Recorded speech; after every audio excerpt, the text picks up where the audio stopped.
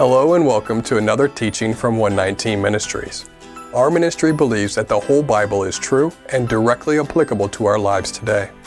If you would like to know more about what we believe and teach, please visit us at testeverything.net. We hope that you enjoy studying and testing the following teaching.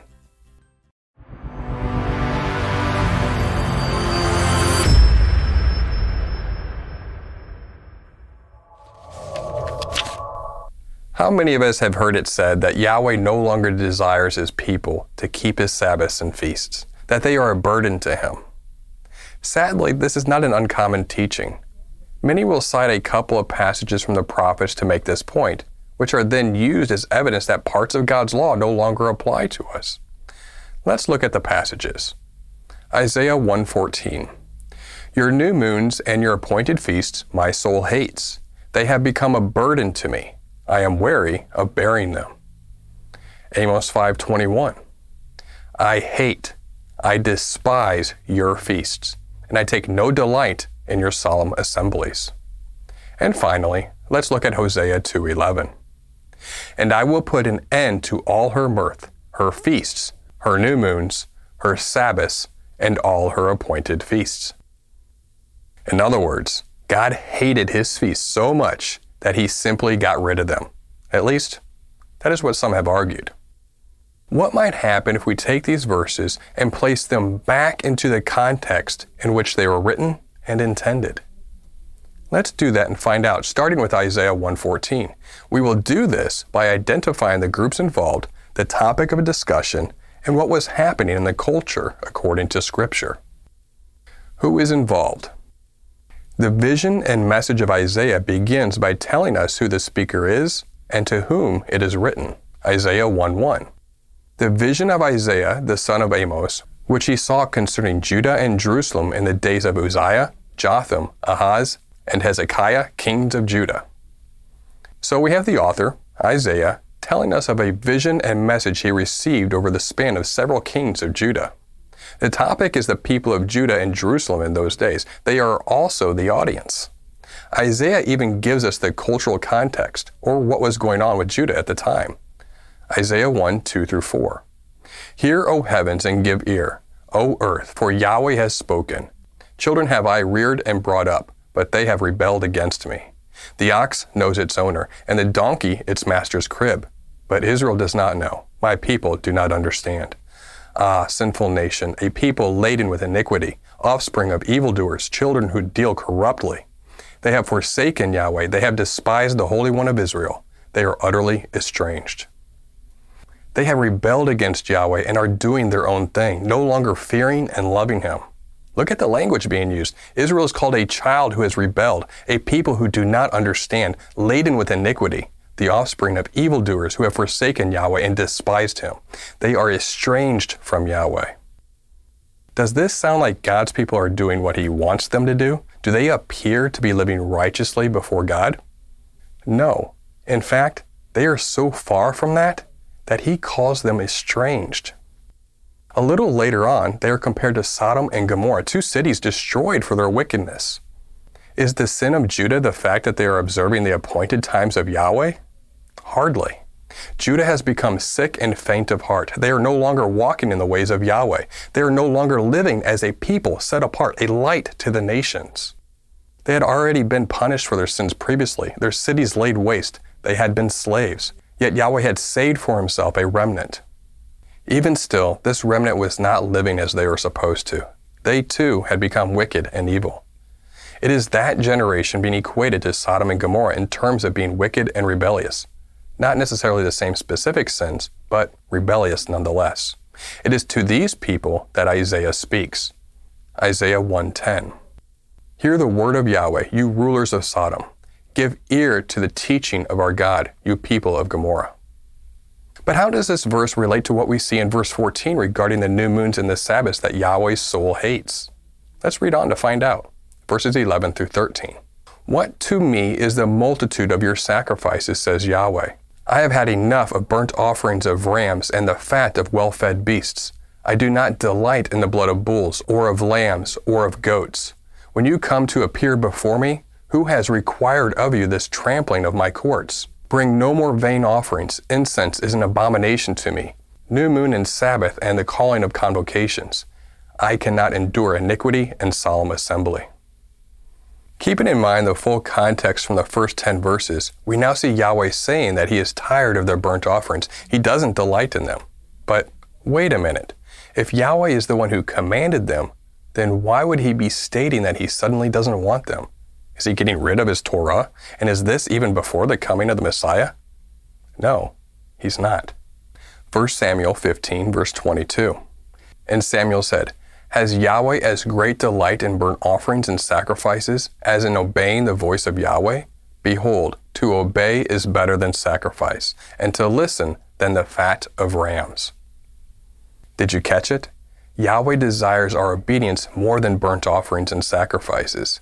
He said this in Samuel's day. It was still true in Isaiah's time, and it's still true today because he never changes. It isn't that Yahweh wants to get rid of his Torah, he wants his people to obey him. From what we have read so far in Isaiah, his people were not obeying him. They were not doing what they were supposed to do. They were doing the opposite. They were rebelling and rejecting him. This is why he no longer desired their burnt offerings. In no way was he removing his holy days or offerings. He was pointing out to them that there was no value in them because of how they were living their lives. Let's go back to Isaiah and see if we find this anywhere else. Verse 12 calls what they are doing a trampling of his courts. When you come to appear before me, who has required of you this trampling of my courts? They are stomping all over his holy ways because of the way that they were living their lives. In essence, they were defiling his ways, making them as if they were nothing. So what does he do? He calls their offerings vain, worthless, and they had no value. The word in verse 13 for vain is shav. It's equated to emptiness, nothingness. It's only vanity. They were doing what was prescribed by the law of God in terms of sacrifices, but they were only going through the motions. They were living as hypocrites. Therefore, their sacrifices were empty and worthless.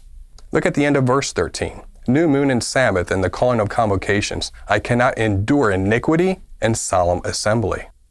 Yahweh cannot endure the mixing of iniquity with his holy and appointed times. They were set apart for him and his people, yet they were observing the letter of the law without the spirit, without the desire. For more on how spirit equates to desire, please see our short teaching titled The Hebrew Root of Spirit. This brings us to the verse we started with, verse 14. Your new moons and your appointed feasts my soul hates. They have become a burden to me. I am weary of bearing them. Take note of the language used here, especially the words denoting possession. Yahweh says, Your new moons and your appointed feasts. These are in direct opposition to the appointed times listed out in Leviticus 23. We are told in Leviticus 23 whose feasts and appointed times are being described. Leviticus 23, verse 2. Speak to the people of Israel and say to them, These are the appointed feasts of Yahweh, that you shall proclaim as holy convocations. They are my appointed feasts. Do you see now why his soul hated the new moons and appointed feasts? Judah was no longer serving their God the way he desired to be served. They were doing things their own ways. They had removed themselves from him. They were estranged. The new moons and appointed feasts of the Creator were no longer being kept as he designed. They were no longer Yahweh's appointed times as described in Leviticus 23. They were now new moons and appointed feasts according to how the people observed them. Yahweh continues speaking. Isaiah 1 15 through 20. When you spread out your hands, I will hide my eyes from you. Even though you make many prayers, I will not listen. Your hands are full of blood. Wash yourselves, make yourselves clean. Remove the evil of your deeds from before my eyes. Cease to do evil. Learn to do good. Seek justice. Correct oppression. Bring justice to the fatherless. Plead the widow's cause. Come now, let us reason together, says Yahweh. Though your sins are like scarlet, they shall be as white as snow. Though they are red like crimson, they shall become like wool. If you are willing and obedient, you shall eat the good of the land. But if you refuse and rebel, you shall be eaten by the sword, for the mouth of Yahweh has spoken. Yahweh is calling his people back into his ways. He is clear in verse 19 when he states that if they are willing and obedient, then they shall receive blessings. The words of Isaiah 114 were never intended to state that the appointed times of the Creator were something he hates. The fault did not lie in the appointed times. The fault lie with his people who had strayed from his ways. Again, it wasn't the law of God, the sacrifices, offerings, and appointed times with which Yahweh had an issue. It was with the behaviors of the people. Does that sound a little familiar? Where else have we heard such a statement before? We hear the same thing in Hebrews chapter 8. For he finds fault with them when he says, Behold, the days are coming, declares the Lord, when I will establish a new covenant with the house of Israel and with the house of Judah not like the covenant I made with their fathers on the day when I took them by the hand to bring them out of the land of Egypt. For they did not continue in my covenant, and so I showed no concern for them, declares the Lord. We see the same pattern in Hebrews as what was brought forth and delivered through Isaiah. There truly is nothing new under the sun. What has been will be again, just as he told us in Ecclesiastes 1 9. What has been is what will be, and what has been done is what will be done and there is nothing new under the sun. For more on Hebrews 8, please see our teaching, What is New About the New Covenant. Now that we have established proper understanding of Isaiah 114, let's examine Hosea chapter 2, verse 11. And I will put an end to all her mirth, her feasts, her new moons, her Sabbaths, and all her appointed feasts. Case closed, right? Yahweh said through his prophet Hosea that he was going to abolish the appointed holy days found in Leviticus 23. But wait, whose appointed days are mentioned in Hosea 2:11? The Father specifically says he will end all her appointed feasts. Remember, in Leviticus 23, we read that Yahweh declares the Sabbath, Passover, unleavened bread, Sukkot, and all other appointed times as his feasts. Leviticus 23:1. Yahweh spoke to Moses, saying, Speak to the people of Israel and say to them, These are the appointed feasts of Yahweh, that you shall proclaim as holy convocations. They are my appointed feasts. Yahweh said through Hosea that he was going to put an end to her appointed feasts, not his appointed feasts. This is one of those instances in which context really matters, just like in Isaiah 114. Look a few verses earlier in verse 8, where we read that Israel is intimately involved with the worship of Baal. Hosea 2:8. And she, Israel, did not know that it was I who gave her the grain, the wine, and the oil, and who lavished on her silver and gold, which they used for Baal. And then, a couple verses after verse 11, we find not only more evidence of Baal worship, but the mentioning of Israel partaking in the feast days of Baal. Verse 13 And I will punish her for the feast days of the Baals, when she burned offerings to them and adorned herself with her ring and jewelry, and went after her lovers and forgot me, declares Yahweh. So, before and after Hosea 2:11, we discover that Israel was worshiping Baal and celebrating the feast days of Baal.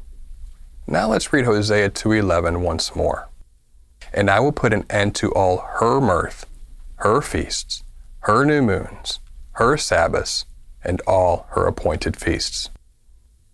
Now that we know that the context of Hosea 2 is in regards of Israel worshiping Baal and celebrating the feast days of Baal, which appointed feast days do you think Yahweh declares he is going to end? Is Yahweh going to end his appointed feasts? Or is Yahweh going to end Baal's appointed feasts? We hope that the answer is now obvious. Yahweh is going to end the appointed feasts of Baal.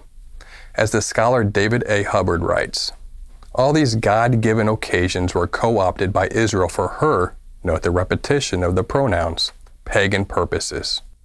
The agricultural character of the pilgrimage feast made them readily adaptable to the fertility cult, whose purpose was to assure regularity of harvest and abundance of produce. The new moon and Sabbath which had counterparts in other Middle Eastern religions, may well have become corrupted by the astrological practices of Israel's neighbors, as well as by the sexual rites against which Hosea inveighs. Lastly, let's examine Amos chapter 5, verse 21. I hate, I despise your feasts, and I take no delight in your solemn assemblies. Once again, some here accuse Yahweh of hating his feasts. Israel was making offerings to the Lord, but he was not accepting them. Amos chapter 5 verse 22. Even though you offer me your burnt offerings and grain offerings, I will not accept them, and the peace offerings of your fattened animals, I will not look upon them.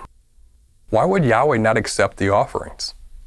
Because Israel mixed in the worship of false gods and images. Verses 25 through 27. Did you bring to me sacrifices and offerings during the forty years in the wilderness, O house of Israel? You shall take up Sikkuth your king, and Kiyun your star god, your images that you made for yourselves. And I will send you into exile beyond Damascus, says Yahweh, whose name is the God of hosts. Again, Yahweh does not hate his feast. He hates the worship of false gods. What appears to even be worse is when the worship of false gods is mixed into the worship of Yahweh. Yahweh does not hate his appointed feast. He hates it when man does what is not good and does their own thing. Israel was engaged in religious hypocrisy. They were worshiping Yahweh with one hand and then worshiping false gods with the other hand.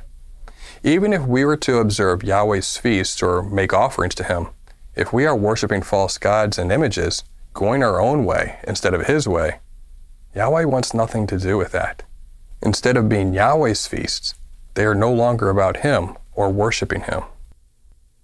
It's time we stop making excuses and trying to find reasons to not follow Yahweh and His ways. Time and time again throughout history, as documented in Scripture, God's people stray from His ways, are punished, and then He calls them back into obedience obedience to His word, His instruction, his Torah. We are in the midst of yet another time of Him calling His people into repentance and turning back to live in obedience in accordance with His Word. Time is growing short. Each day brings us closer to the return of the Messiah. How will you find yourself on that day? In obedience to God or living your life in the way that you see fit, devoid of His Torah? We hope that this teaching has blessed you. Remember, continue to test everything. Shalom.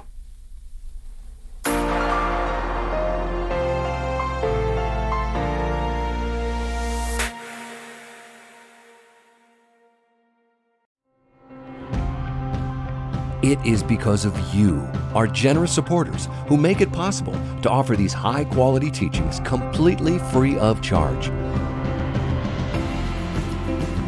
If you feel led to support 119 Ministries so that we can continue this effort, please visit testeverything.net and click on the Support 119 tab. Learn how you can partner with us to take the whole Word of God to the nations.